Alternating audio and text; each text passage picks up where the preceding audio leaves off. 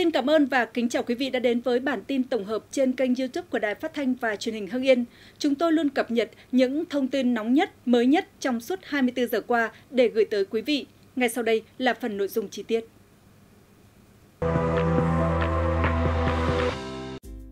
tỉnh Hưng Yên đang tập trung mọi nguồn lực đẩy nhanh công tác giải phóng mặt bằng 7 dự án cụm công nghiệp trọng điểm. Cụ thể, cụm công nghiệp Kim Động quy mô rộng 75 ha thuộc các xã Phạm Ngũ Lão, Nhân La Chính Nghĩa, huyện Kim Động và xã Đằng Lễ, huyện Ân Thi. Chủ đầu tư là công ty cổ phần Đoàn Đầu tư và Phát triển Hưng Yên. Công tác bồi thường giải phóng mặt bằng cho thuê đất đã giải phóng mặt bằng được 42,67 ha trên 75 ha, đạt 57,05% cụm công nghiệp Đặng Lễ, quy mô rộng 75 ha tại các xã Đặng Lễ, Cẩm Ninh, huyện Ân Thi và các xã Chính Nghĩa, Phạm Ngũ Lão, Nhân La, huyện Kim Động.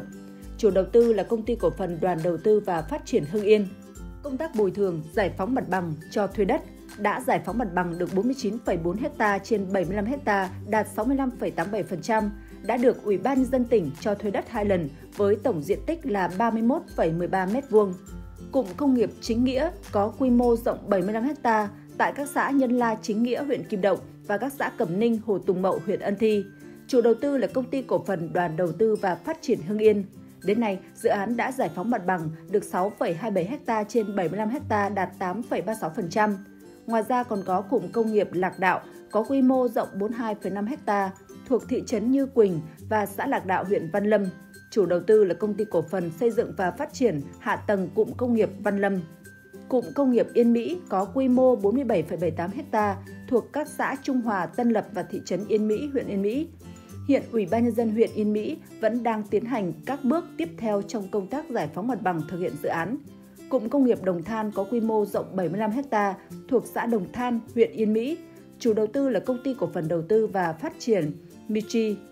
tổng diện tích đã hoàn thành giải phóng mặt bằng, có thể bàn giao đất cho chủ đầu tư là 67,7 ha trên 76,2 ha, đạt 88,8% và cụm công nghiệp Minh Hải 1 có quy mô 68,5 ha thuộc xã Minh Hải, huyện Văn Lâm. Chủ đầu tư, công ty cổ phần đầu tư hạ tầng Kim Long. Đến nay, Ủy ban nhân dân huyện Văn Lâm đã giải phóng mặt bằng với tổng diện tích là 28,1 ha trên 61,3 ha, đạt 45,84%.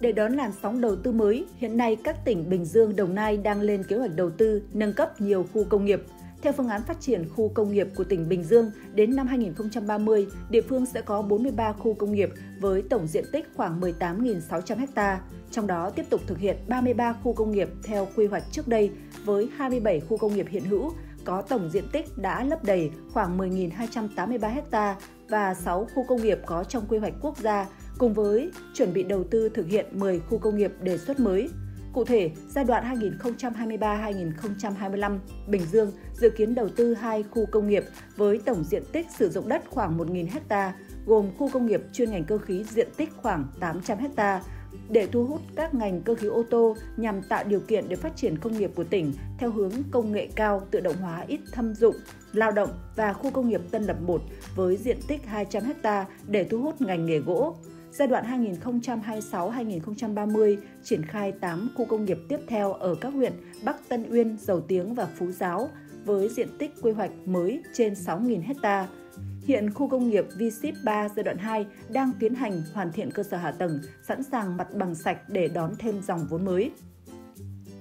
Với mục tiêu đến năm 2030, xây dựng phát triển Bình Dương trở thành một trong những trung tâm phát triển năng động toàn diện công nghiệp dịch vụ hiện đại, đô thị phát triển bền vững theo mô hình tăng trưởng xanh. Đặc biệt, tỉnh sẽ đẩy nhanh tiến độ thành lập khu công nghiệp công nghệ cao, công nghiệp hỗ trợ, trong cơ cấu ngành nghề chú trọng phát triển ba nhóm sản phẩm mũi nhọn gồm công nghiệp hàng không, công nghiệp bán dẫn, sản xuất chip và trí tuệ nhân tạo, thiết bị tự động hóa và thiết bị công nghệ thông tin. Thủ tướng Chính phủ Phạm Minh Chính vừa ký công điện số 103 CDTTG ngày 7 tháng 10 năm 2024 về hỗ trợ doanh nghiệp tháo gỡ khó khăn, thúc đẩy hoạt động sản xuất kinh doanh trong cuối năm 2024 và những năm tiếp theo.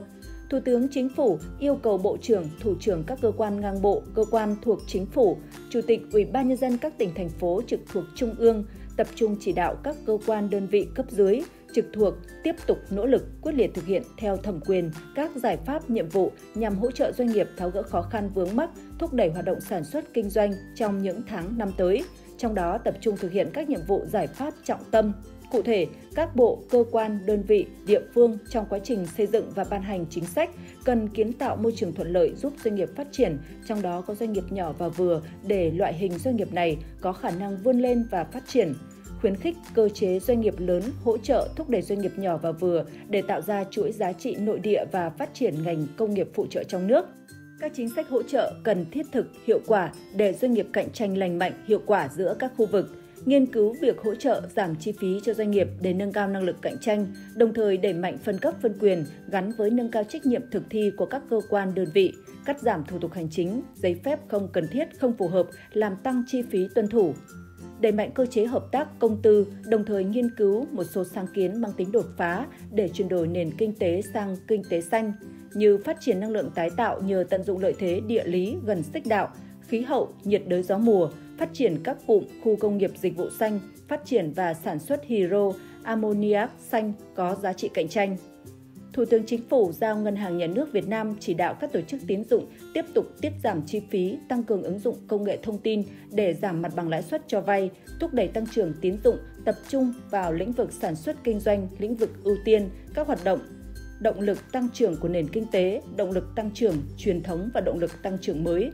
Bên cạnh đó, Ngân hàng Nhà nước khẩn trương chủ trì phối hợp với cơ quan liên quan tháo gỡ khó khăn vướng mắc, triển khai hiệu quả gói tín dụng 140.000 tỷ đồng cho vay nhà ở xã hội, chương trình tín dụng ưu đãi đối với lĩnh vực lâm sản, thủy sản. Thủ tướng Chính phủ cũng yêu cầu các địa phương cần chủ động tích cực theo thẩm quyền, gặp gỡ, trao đổi, lắng nghe ý kiến, khuyến nghị của doanh nghiệp để kịp thời xây dựng mục tiêu, nhiệm vụ, giải pháp phát triển, hỗ trợ, giúp đỡ doanh nghiệp tại địa phương, nhất là các doanh nghiệp vừa và nhỏ, các doanh nghiệp đang gặp khó khăn do bão lũ về tài chính, pháp lý, thủ tục đất đai, giải phóng mặt bằng theo các quy định trường hợp vượt thẩm quyền thì báo cáo các cấp có thẩm quyền. Thủ tướng Chính phủ giao Phó Thủ tướng Thường trực Nguyễn Hòa Bình trực tiếp chỉ đạo đôn đốc thực hiện hiệu quả công điện này. Các đồng chí Phó Thủ tướng theo lĩnh vực được phân công chỉ đạo các bộ, cơ quan, địa phương kiểm tra tổ chức thực hiện hiệu quả các nhiệm vụ nêu trên và chỉ đạo xử lý các nội dung, nhiệm vụ cho các bộ, cơ quan, địa phương trình báo cáo Thủ tướng Chính phủ những vấn đề vượt thẩm quyền. Văn phòng Chính phủ theo dõi đôn đốc việc thực hiện công điện này theo chức năng nhiệm vụ được giao. Thời gian qua, Hải Phòng là một trong 6 địa phương cả nước dẫn đầu về thu hút đầu tư nước ngoài. Trong bối cảnh thị trường toàn cầu còn nhiều biến động, các nhà đầu tư, nhất là nhà đầu tư lớn, ngày càng thận trọng hơn trong đầu tư ra nước ngoài. Giữa áp lực cạnh tranh gay gắt cả trong và ngoài nước, thành phố Hải Phòng vẫn đang là điểm đến được nhiều nhà đầu tư nước ngoài quan tâm lựa chọn bởi những lợi thế riêng có trong thu hút vốn FDI. Theo thống kê từ Ủy ban nhân dân thành phố Hải Phòng, lũy kế đến nay Hải Phòng đã thu hút được 40 tỷ đô la Mỹ vốn đầu tư FDI, là một trong các địa phương thu hút đầu tư FDI lớn nhất của Việt Nam. Trong đó, Liên minh châu Âu EU đầu tư với hơn 50 dự án, tổng vốn đầu tư gần 1,5 tỷ đô la Mỹ, chiếm 3,7% và Thụy Điển đầu tư với 3 dự án, tổng vốn đầu tư là 40,37 triệu đô la Mỹ. Hải Phòng trở thành điểm đến đầu tư thành công của các tập đoàn lớn từ châu Âu như Tesa Pararium, Asa Aboy, Hải Phòng cũng là điểm đến của các nhà đầu tư hàng đầu thế giới như tập đoàn LG Hàn Quốc có dự án với tổng vốn đầu tư trên 7,24 tỷ đô la Mỹ, tập đoàn Bridgestone Nhật Bản với tổng vốn là 1,22 tỷ đô la Mỹ, tập đoàn Regina Michael Hồng Kông Trung Quốc với tổng vốn trên 1 tỷ đô la Mỹ, tập đoàn Pedachon Đài Loan Trung Quốc với tổng vốn trên 800 triệu đô la Mỹ, tập đoàn SK Hàn Quốc với tổng vốn trên 500 triệu đô la Mỹ. Ngoài ra, còn các tập đoàn khác như Nipro Pharma và Aeon của Nhật Bản, Tongwei của Trung Quốc. Có thể nói Hải Phòng được đánh giá là một điểm sáng trong thu hút FDI và luôn duy trì đứng trong top đầu cả nước.